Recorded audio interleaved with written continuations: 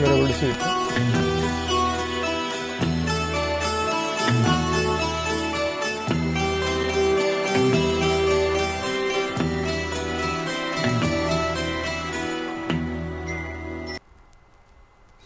This is a lecture on uh, vibration transducers.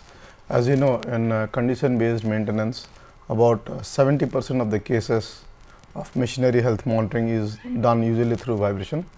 So, in this class we thought that we should uh, look into the merits and demerits of the available uh, vibration transducers and what are the different types of vibration transducers uh, used in industrial health monitoring and in the subsequent classes we will be talking in details regarding how actually vibration monitoring is done.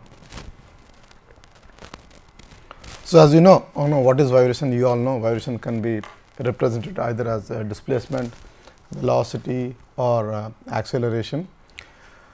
Well, uh, if displacement is denoted uh, the amplitude is denoted as uh, a you know velocity is omega a and acceleration is omega square a. So, you see there is always a strong relationship between the amplitude of the quantities measured and the frequencies. So, in one way at high frequencies you will see because of this omega square a term the acceleration is going to have a high magnitude compared to displacement. Displacement is actually a frequency independent phenomenon okay, and it is actually a low frequency phenomenon. Okay. I always uh, am asked this question you know, what is the best parameter to measure. Okay. You will see as we go through this class sometimes at low frequencies it is actually the displacement. For example, if you think of a shaft okay, which is there in a casing. This is the casing of the shaft or a housing. What could happen is this shaft while rotating, if it is not on the rotating at its center, there may be a subtle slight eccentricity. Okay. And because of this, at any of the points you will see that displacement at one location is a 1 and another location is a 2. For the shaft to be uniformly or concentric to the center all these a's should be equal if you measure in the four uh, quadrants or four, uh, four directions okay, at 90 degrees to each other. But if you will see a 1 is not equal to a 2 is not equal to a 3 etcetera okay, then the uh, then what happens is uh, we know there is some problem okay, because of eccentricity. And how can this be detected? If I have some sort of a sensor here, displacement sensor or some sensor which senses this gap between the rotating shaft and the casing, it will tell you know, there is something wrong with the machine. So, this is where actually displacement sensors are used Okay. We could be slowly turning the shaft, it may not be powered by a motor, we could be slowly rotating uh, by some mechanical device. Think, think of a large cement uh, plant, where you have the large very long rotary kiln, kiln could be of the diameter of 2 to 3 uh, meters, the di diameter of the kiln. Okay.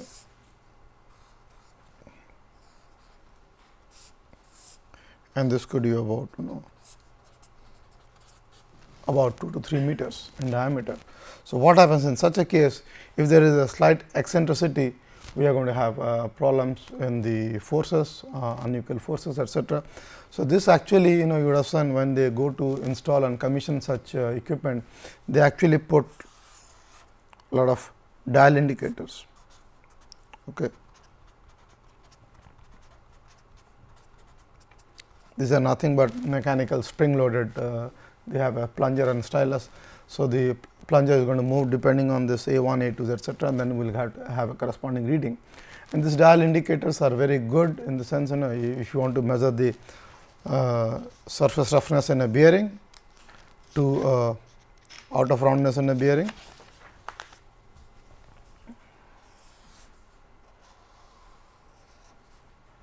And the small variations here could be measured by a dial indicator. Okay. And this could be in the order of microns. Okay.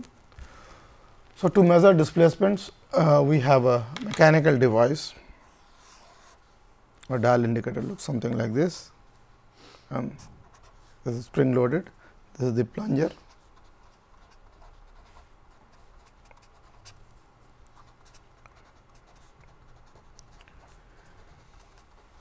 So, as you will intuitively see that if the motion is very slow almost close to static, I can use a dial indicator to move the um, see the displacements.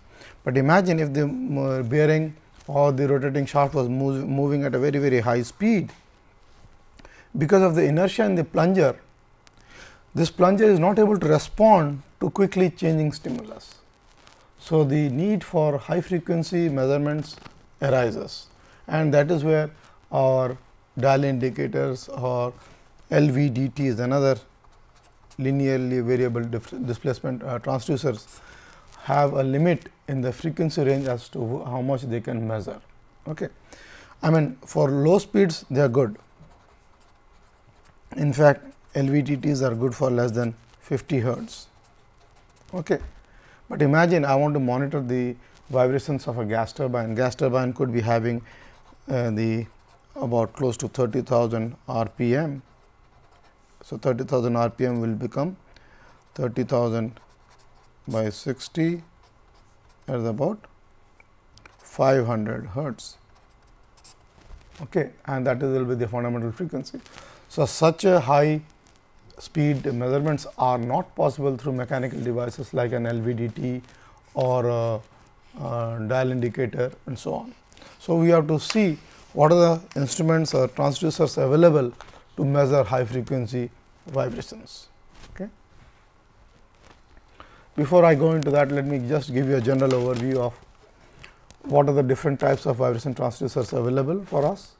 One is the piezoelectric accelerometers and we will be discussing in details regarding the piezoelectric accelerometers because 99 percent or 98 percent or 95 percent of the vibration transducers are actually piezoelectric accelerometers nowadays, because the convenience of measuring omega square a which is acceleration is very easy and then once I have this uh, accelerations I can divide it by omega to get velocity and divide it by omega square to get displacement. So, this covers the entire frequency range from you know 0 or uh, as close to 0 to about 5000 10000 hertz which is not possible with the LVDT or the dial indicator we just discussed. Okay. Of course, another one is the LVDT and then one thing you would notice that be it an LVDT or a dial gauge or for that matter an accelerometer, they have to be always in contact with the surface at which we are measuring the vibration. Okay. But there are instances where we cannot touch this surface.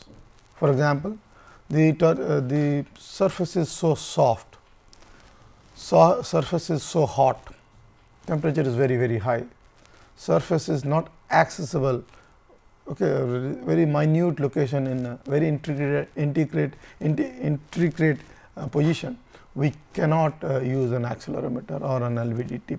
So, that is where we have to use certain laser based techniques uh, be it to measure the normal vibration or the rotational vibration.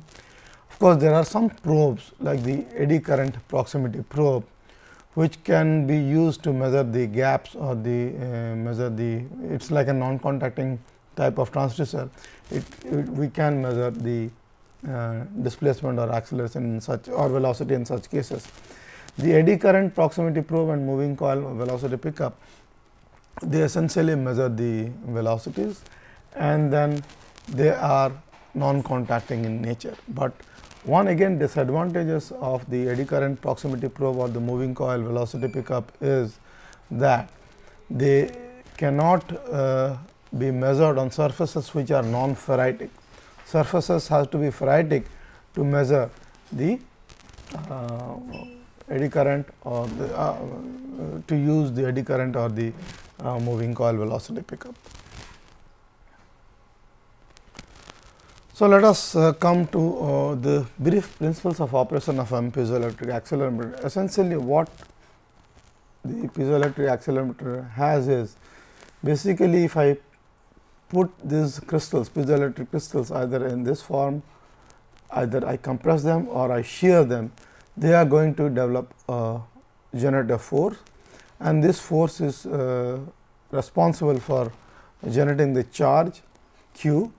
And this charge could be converted to a voltage with a suitable, a suitable charge to voltage converter amplifier. And basically I will get the voltage signal.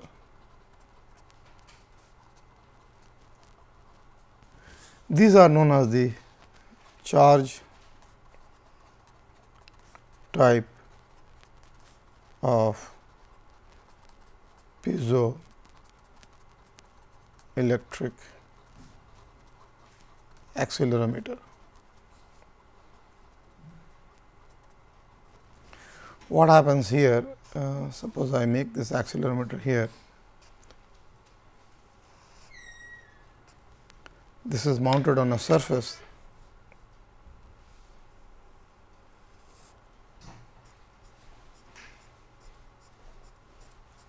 Okay, wherein it is having a certain motion x.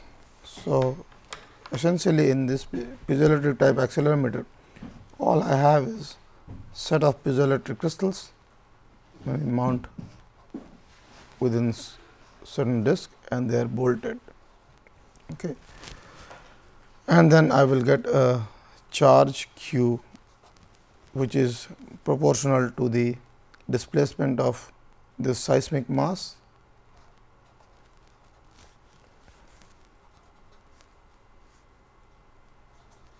this q is proportional to y minus x okay. And with mathematical equations you will see eventually this q is proportional to the base motion okay. motion could be in the form of acceleration. So, once I get this charge as you know charge cannot be stored charge has to charge will decay with time.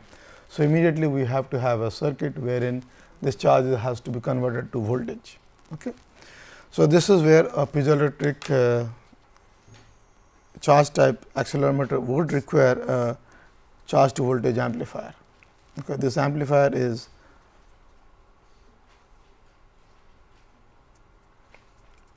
is outside the accelerometer. Okay. The advantage of thus the charge type accelerometer is and this is a sealed unit, this is a sealed unit advantage of such accelerometer is this can be subjected to very very high temperatures the charge type of accelerometers okay but the disadvantage is that you have to carry a charge to voltage preamplifier with this accelerometer. So with the miniaturization of electronics what has happened is people have put the amplifier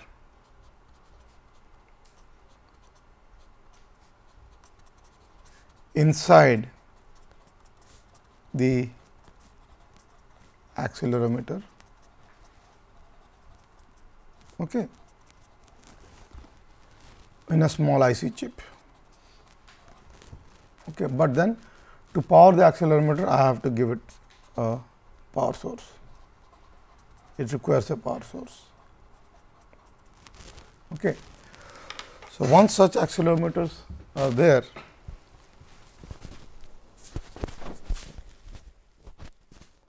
uh, then what we can do is uh, so this is the same accelerometer, but the IC chip is inside installed inside the accelerometer. And all you have to do is just take a cable and this is a voltage output. Because you have to the same cable could be used another conductor could be used to give the power supply to the uh, IC which is used to convert the charge to the voltage. But the disadvantage of this is because the IC chips are integral and kept inside the accelerometer housing and usually this housing is you know stainless steel uh, very hard and you can never uh, break it open okay. they are hermetically sealed. So, this uh, accelerometer cannot be subjected to high temperatures high temperatures we cannot subject them to high temperatures because this IC chips will be get damaged. But for simple uh, vibration measurements in the room where the ambient temperature is you know 30 to 40 degree or around 30 35 40 degree Celsius is good. They are not good beyond 100 degree Celsius. The IC P type you know there, are many trade names for this you know like you will have the ICP types the Deltatron Deltatron, Piezotron, Isotron. You know this tron comes from the electronics okay, and delta, piezo, iso, ICP these are different trade names uh, the companies use to sell their charge amplifiers which have the IC inside it. So, all you will require is just put that accelerometer, give it a power supply and you will straight away get the voltage. So, this is very convenient from a vibration monitoring point of view, because nowadays many of the uh, signal analyzers have the built in uh, power source, which could be used to power such ICP type accelerometers and they are very convenient. But the strongest disadvantage is that they cannot be subjected to high temperatures. In fact, while doing uh, uh, experiments on measurements on very high speed uh, gearboxes. I have lost couple of accelerometers because the technician mistakenly put the ICP type accelerometers on a bearing which was very very hot and we are monitoring for about 30 40 minutes end of the day I, I get no signal and, and see that the IC chip has got far, uh, fried okay, because of the high temperatures. So, we have to be careful when using such uh, ICP type accelerometers. Okay. We will go to the details of the accelerometers later, but let me just tell you about the other uh, important uh, accelerometers or vibration transducers. And this is how uh, actually in the inside of the accelerometer this is how it looks like. And this is the mass which is loading it. And uh, this is the piezoelectric crystal okay? And this is a tightening bolt which goes and this whole unit is sealed this is a ceramic unit uh, there is a steel unit and this is seal and because of the relative displacement here and the piezoelectric mass we will get a charge which is proportional to this displacement or uh, acceleration and then we will see a voltage and this voltage could be uh, measured as uh, the other. So, the charge sensitivity could be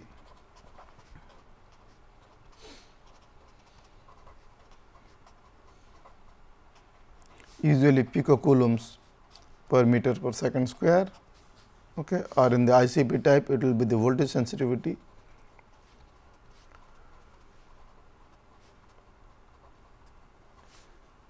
millivolts usually meter per second square. Okay. Uh, I will move on to the and this is how the typical piezoelectric accelerometers look like if you will see this is the size of a 50 paisa coin and uh, this is where you connect the cable to connect the charge uh, to measure the charge which has been generated. And similarly this is the top connector this is a side connector okay? And this is what is known as a triaxial accelerometer. Triaxial accelerometer because of the fact that you know acceleration is highly directional.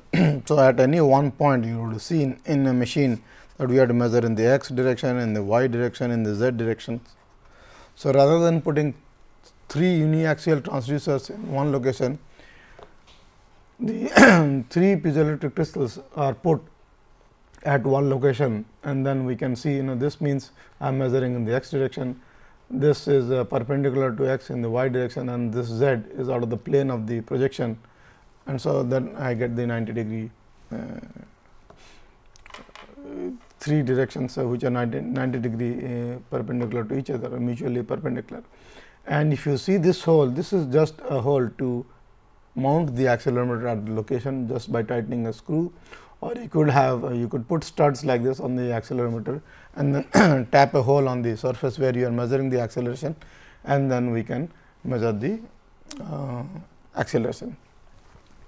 Another very very important note you have to make while using these charge accelerometers is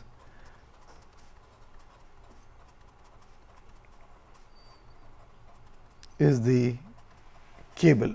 Cable plays a very very important role because you know this conductor which is there and there is a signal wire and the ground wire and if there is a relative motion between them they are going to generate a charge. Okay, suppose the cable is violently moving having motion and this cable is laying on a surface which is having excessive vibration.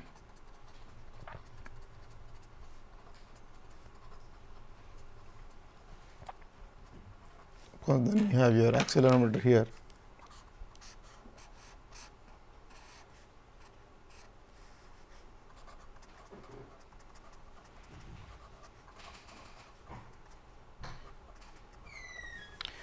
is having this accelerometer here and then there is excessive uh, vibrations. Okay.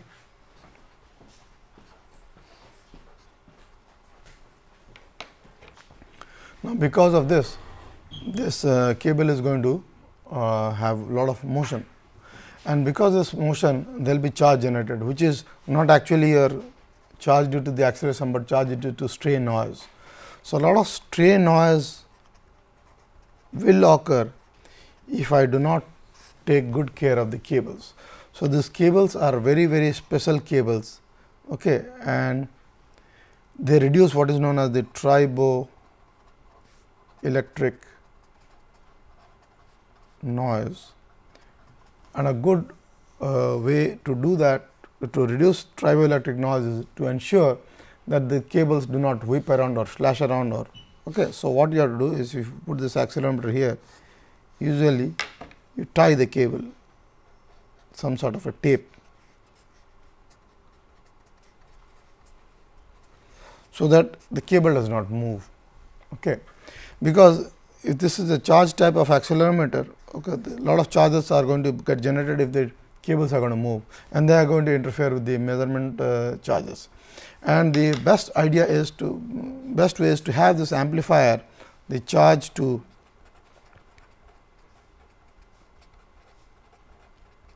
voltage converter or amplifier very close to the accelerometer. Okay. And usually this cables are not very very long you know, about 1 meter to you know 3 meter maximum, because beyond that it, the cable noise will be so much that you will uh, contaminate your vibration signal. So, this is another uh, precaution you have to take while using the charge type accelerometers for uh, measurements, uh, vibration measurements. But these kind of issues are not there when you take uh, when you have the ICP type of accelerometers wherein we straight away get a voltage signal uh, in the cable rather than charge. Here we have the charge okay, and charge will uh, decay and charge you are generating. So, you have to have the charge to voltage uh, amplifier. Uh, in fact, as soon as the charge is generated, you have to convert it and then transmit over long distances. Because sometimes if you have to measure at one particular location and record at maybe 100 meters away, okay, you cannot have a 100 meter triboelectric uh, cable which is uh, slashing or uh, moving around and then generating a lot of noise. So, your uh, vibration measurement will be no good and that is where you have to be careful about.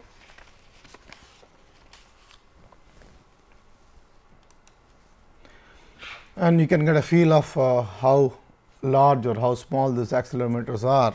Obviously, to increase the sensitivity of the accelerometers, we have to have more piezoelectric crystals.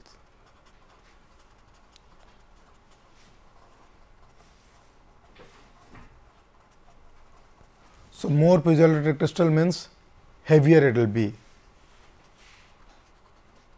So, heavier accelerometers will have high sensitivity.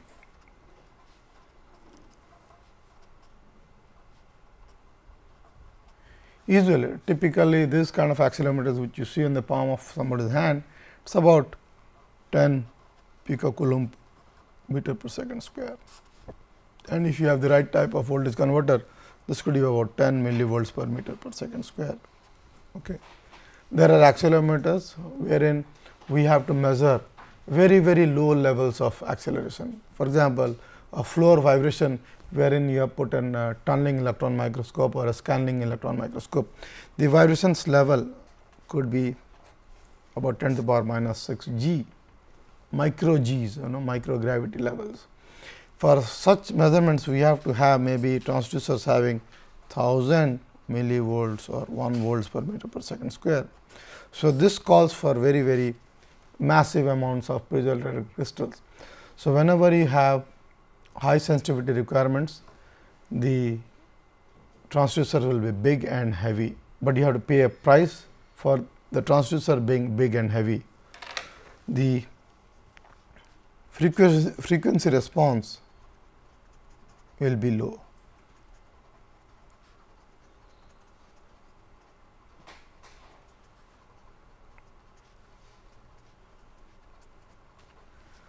We obviously cannot measure very very high frequencies with high sensitivity accelerometers. You know this could be the frequency of such heavy accelerometers could be up till maybe 10,000 hertz. Suppose I want to measure very very high frequency vibrations. High frequency vibrations. To measure high frequency vibrations, my frequency response of the accelerometer has to be very very high maybe about 7200 kilohertz. So, they have to be very very lightweight. So, the sensitivities are very low maybe 1 millivolts per meter per second square. Okay. We want to measure accelerations very very high accelerations for example, during a shock generation something fell on the ground so, in the, such a case and shocks are usually very very high frequencies. So, we have to use light accelerometers. So, if you go to the catalog of any manufacturer you will see different types of accelerometers made available to you whether. Uh, so, if I was to just specify the generic specifications of an accelerometer.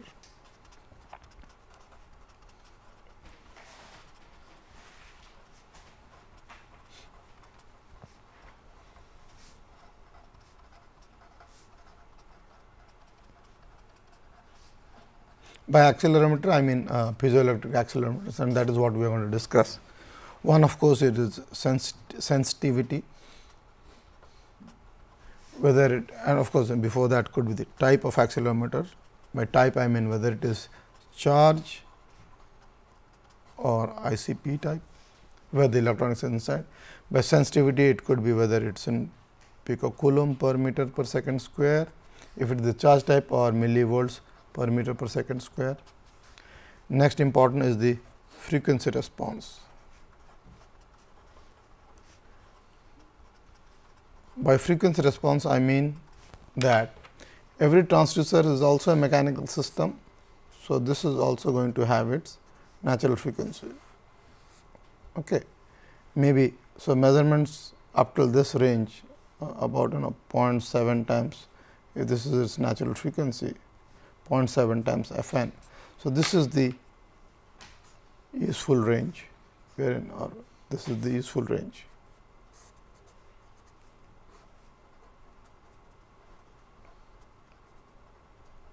wherein you will measure the. So, this accelerometer is good only up to 0.7 of f n. Okay. Then of course, the other maximum temperature it can be subjected to.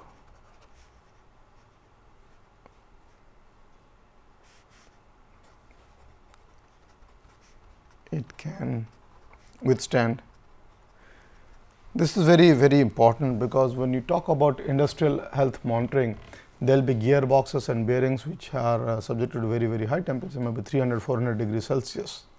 Okay maybe the you should know from the manufacturer whether the accelerometer can be sent or subjected to such a high level of uh, uh, temperature. The directional sensitivity.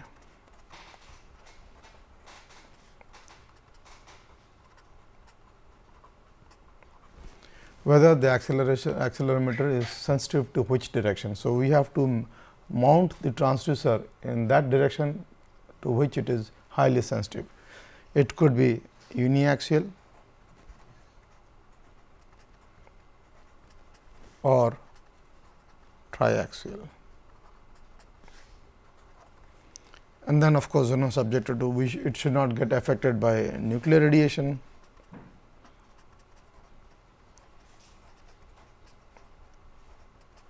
by EMI, by moisture. Okay. Does it require external power supply or not?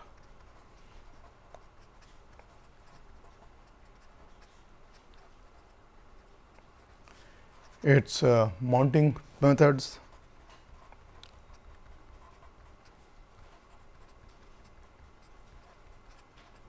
Okay.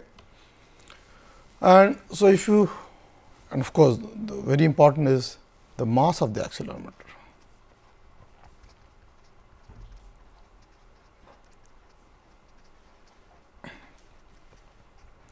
Because as you know, vibration is a very, very uh, important dynamics property of a system. And the dynamics of the system is going to change if the mass of the accelerometer is larger than the mass of the system which you know, whose vibration you are measuring. It is going to influence it. Imagine uh, we have a very very thin disk okay, which is rotating or which is having a motion some sort of transverse motion. Okay, and this disc maybe weighs you know 100 gram. Okay. I obviously cannot put an accelerometer on this which is weighing 500 grams. Okay, because the entire dynamics of the system is going to change. So, one rule of thumb which you have to always keep in mind that mass of the accelerometer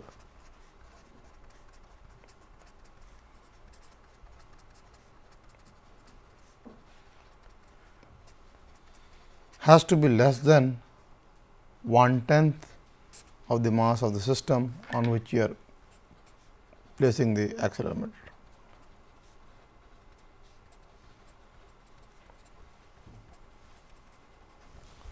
Okay. Otherwise, this is what is known as the mass loading effect will occur and then you are not going to get the true reading of the acceleration. Okay.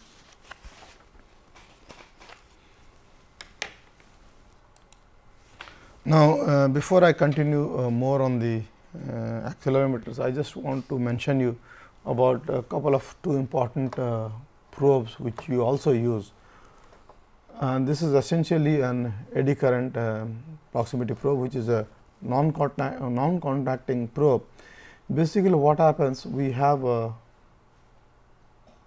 probe here onto which we generate, uh, we apply a high frequency signal very very high frequency signal about few megahertz okay and that is there in the uh, primary of this there is a coil here and primary and because of this high frequency waves which are close to this shaft which is uh, iron shaft eddy currents are going to generate get generated.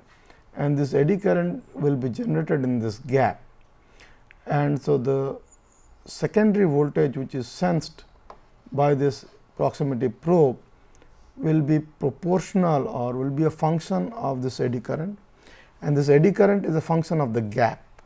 So, we can measure such eccentricities or gaps which are created between the shaft and its uh, journal of the casing because of an radial runout eccentricity by putting such eddy current probe. Okay. They are non-contacting type. of course, they have a very very low frequency response compared to the accelerometers, but the advantage is I obviously cannot put an accelerometer here because accelerometer is only going to measure the vibration of the casing here. I can no way measure the vibration of this shaft because I cannot put the accelerometer in contact with the soft surface.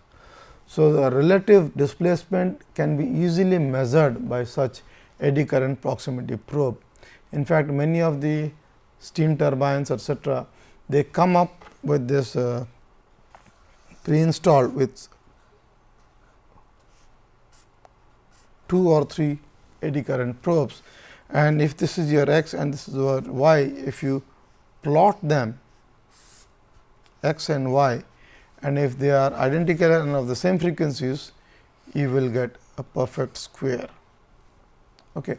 So, uh, sorry perfect circle and these are good for what is known as orbit analysis. Okay. And if there is just looking at a phasor diagram of the x and y on a two plane system, you will see if it is a perfect circle, you know this system is ex, uh, concentric to the casing and it is rotating uh, perfectly. And with time this may change like this, okay, this may change like this. And then you know that something is wrong with the eccentricity of the shaft. And this is a very good way to report it or record it or observe such eccentricity by having an eddy current proximity probe. So, usually in steam turbines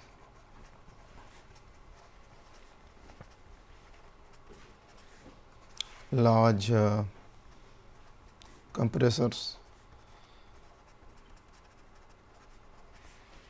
axial we can put such eddy current proximity probe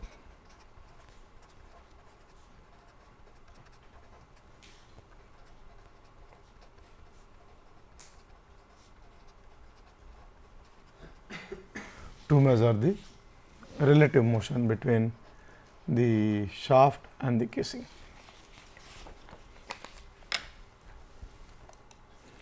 Another uh, non-contacting type transducer is the velocity pickup. Essentially, there is a permanent magnet and a moving coil and uh, because of the motion of this system here, I am going to get an EMF okay, and this motion is because of this is contact this is in touch with the surface. Okay, the velocity type pickup. And this will get a will get a velocity proportional to this uh, EMF which has been generated. But uh, modification to this is if I have something moving here and this, this coil is not there and this is ferritic, we can have a Keyphasor kind of signal. It will give a signal like this.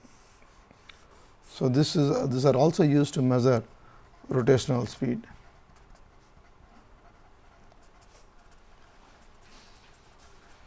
Because uh, with vibration health monitoring, you know measuring the rotational speed is also very very important. Okay, I cannot obviously put a tachometer always to a rotating shaft to an end of a rotating shaft, but if I have an arrangement like this wherein I have a shaft on which there is a keyway or a key and then if I put such a pickup. So, at every time the keyway comes below the pickup this voltage this gap is going to change. So, there will be a voltage generated with time. So, just measuring the time period I will know the frequency of rotation as the inverse of the time period.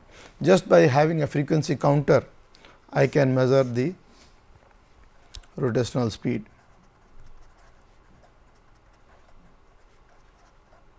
and in the in, in, in the industry all such rotational speed measurements is done through an inductive pickup okay. And all you and then you can transmit this signal over many many meters or kilometers for that matter. Okay. And uh, on real real time always you will have this uh, rpm trace. Okay. now earlier days, you know, uh, when uh, the piezoelectric accelerometers were not developed, people were using such moving coil kind of velocity pickups. Okay, and eddy current pickups. But nowadays, with the piezoelectric accelerometers available, we have only two important parameters which you need to measure. One is acceleration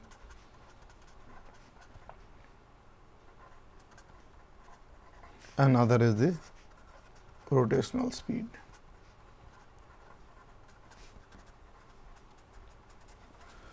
So, these are the two most important vibration though rotational speed is strictly not vibration, but I am vibration transducers which we have to use for machinery health monitoring.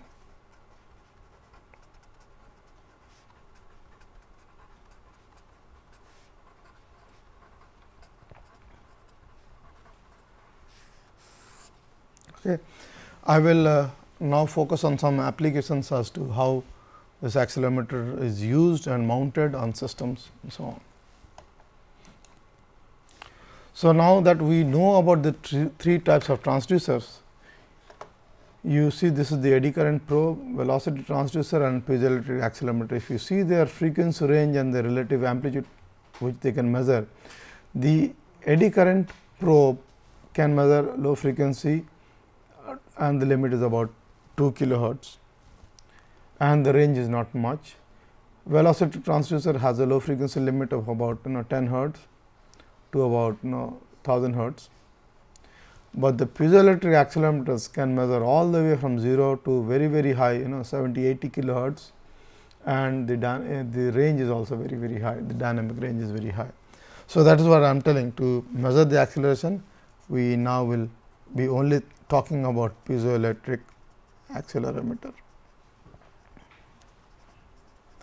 Before the piezoelectric sensing elements were used, people used to also use strain gauges instead of the piezoelectric crystals to measure the seismic accelerations. And this is how a typical uh, chart of an accelerometer will look like. This is the frequency response okay. and uh, this is the resonant frequencies and then uh, what are the methods to mount the accelerometer and what are the voltage and charge sensitivity as a function of temperature etc.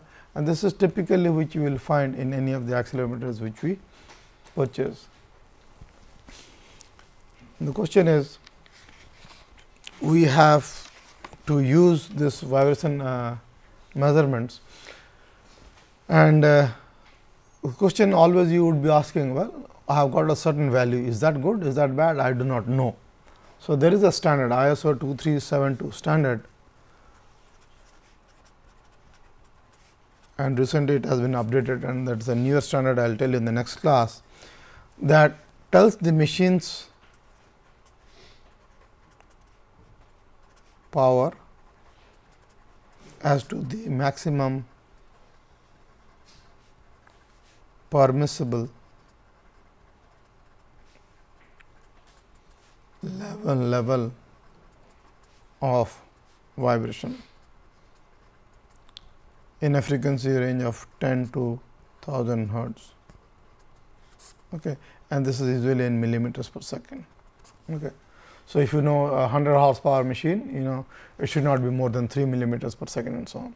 So that gives you a feel like when you are doing vibration measurements on machineries for their health monitoring you know the power of the machine so the maximum acceleration or maximum RMS level in this 10 to 1000 hertz band should be not beyond a certain level which is given in that standard. And uh, this is how uh, typically this is uh, essentially a charge to voltage amplifier. And this is the accelerometer here. And uh, this is the special cable I was mentioning about which reduces the triboelectric noise. And sometimes you will see the cables are costlier than the accelerometer itself because otherwise you know if these cables are uh, beating around if they if they move also they are manufactured in such a way that there is so much of reinforcing mechanism in the cable itself the actually the copper conductor which is there inside hardly has any motion. It is actually there are multiple sheets of protection in this uh, cable. There will be a layer of um, plastic insulation uh, steel reinforcement and uh, on top of the copper uh, uh, wire and then there will be a plastic coating sometimes silicon coating so that it can be used underwater etc. So, these cables are very very expensive you know, when you are talking about underwater accelerometers or hydrophones this uh, we have accelerometers underwater accelerometers wherein you can measure the vibration of underwater structures, but the cables there are very very costly they, they will not allow water to creep into the or seep into the a conductor and contaminate the readings etc. Okay. And usually uh, when we have this, this is an accelerometer, an uniaxial accelerometer of the top connector and this is actually a gold plated connector here to make sure that there is no corrosion etc. And this is that cable here and which goes to a vibration meter wherein you can select the knob to see the readings of either acceleration, velocity or displacement. Okay. Now, uh, the next question you would be asking yourself is uh, how do we actually physically fix this accelerometer onto the surface on which we are measuring the vibration. Okay. Surface could be uh, as soft as uh, the flapping wings of a bee okay, or uh, as delicate as a you know, buzzing uh, bee, bee, bee wings or as uh, robust and heavy and hot as a gearbox casing. Okay. Everywhere there is vibration. How do, how do you measure that? Okay. Obviously, on a uh, gearbox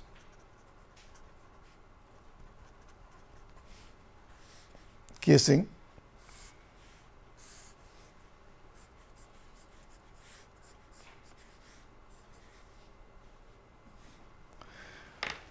I can mount my accelerometer many ways. One is I could uh, attach if this is a, usually the gearbox etc. these are cast iron. So, I can very easily tap and put a stud and screw the accelerometer onto the stud. So, one is the stud, other is I can attach a soft magnet to it.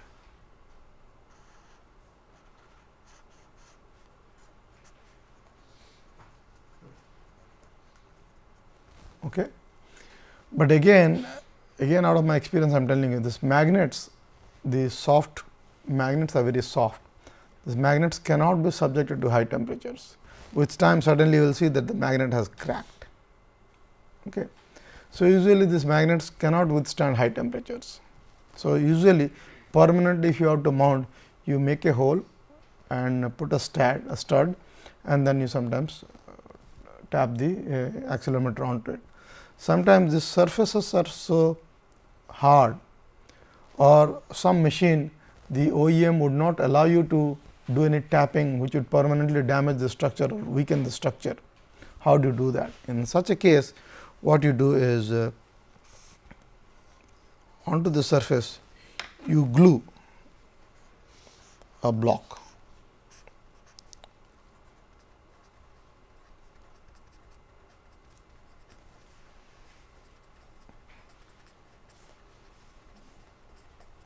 which could be glued permanently by uh, cement like the cyano acrylate like like you know we talk about those Fevikwik type of uh, glues which are available in the market etc. You can use them to glue the block onto the surface whose vibration you are going to measure. People will not ask you to uh, let, let you do a drill a hole and do a tapping that is not allowed. So, usually you will use such an uh, device a block onto this block you can screw your accelerometer with a tap. Okay. And this actually uh, the stud mounting is the best and then comes the glues and magnetic base if it is soft and they have pretty high frequency limits. But sometimes even just you know a layer of beeswax on a surface, the honey, beehive, bee wax, you can just put it here and then stick stick the accelerometer onto it. Okay. Just press it and this is the bees wax. They are pretty strong. Okay. But the problem is you cannot use them beyond 40 degree. In room temperature these are good, but beyond that they will melt and they cannot be. Another type is that if you are quickly surveying a surface, you can put a handheld probe okay, and then move around accelerometer. Okay. Now, what I am going to do is I am going to show you some of the mounting methods through pictures. This is how the accelerometer if you buy it looks like in a kit. Okay. This is the accelerometer and this is that special cable I was talking about. This is the magnet, this is the beeswax and there are a lot of studs, washers etc. and this is the tap given to make the tap okay. and this is a typical kit which you will see of an accelerometer. And then accelerometers always need to be calibrated. So, this is the handheld calibrator wherein you can give a known levels of 10 meters per second square at 1000 radians per second and then you will see the acceleration uh, values. Whatever voltage it comes, it gives you will know that it gives 10 meters per second square of acceleration. And this is typically we are measuring uh, using a magnet here, the vibration in a test rig. And this is where another test rig wherein we have put an uniaxial accelerometer and that special cable. Okay. And this is an industrial type of accelerometers which can be subjected to very very high temperature. This cable is special and then we have an uh, meter vibration meter which will actually see the you can see the spectrum. Okay. These are all there in our lab you can uh, go to this website and see this uh, system as well. And this is one of the reluctance type velocity pickup which we have used on the shaft. Okay. Uh, we can also use an optical encoder to measure the rotational speed and we can use uh, single point lasers also as an accelerator uh, to measure the vibration because this is a refrigerator compressor wherein we are measuring you can see this spot here where we have put a laser beam and once we put a known laser beam because of the reflected wave there will be a Doppler shift and the Doppler shift will be proportional to the velocity of the surface and we can measure the for surfaces where when we cannot approach. For example, here in another case we have a, a transformer which, which is there in our lab. You can see these points which are shining. Actually these are the points we have put reflector tapes wherein we can measure the uh, velocity which is uh, with which these fins are vibrating and then we can sh shoot the same laser uh, um, vibrometer to measure the vibrations of the surface because here we are measuring the sound intensity here. Another uh, application of this laser based uh, vibration uh, measurement system is using a rotational laser vibrometer, okay, wherein we shoot two beams. If you can see there are two dots. If you have two laser uh, beams separated by a particular distance, if you know V 1 and V 2, if you know delta r, you can find out omega and that is what we are using this laser uh, vibrometer to measure the uh, rotational vibrations. Another view of the a rotational vibrometer and this comes with the signal conditioning system wherein we will straight away get an omega uh, as a function of uh, frequency. Okay. Uh, this is another view okay, of the same uh, rotational laser vibrometer. This is the laser head which shoots in uh, shoots two beams. Okay. okay, thank you.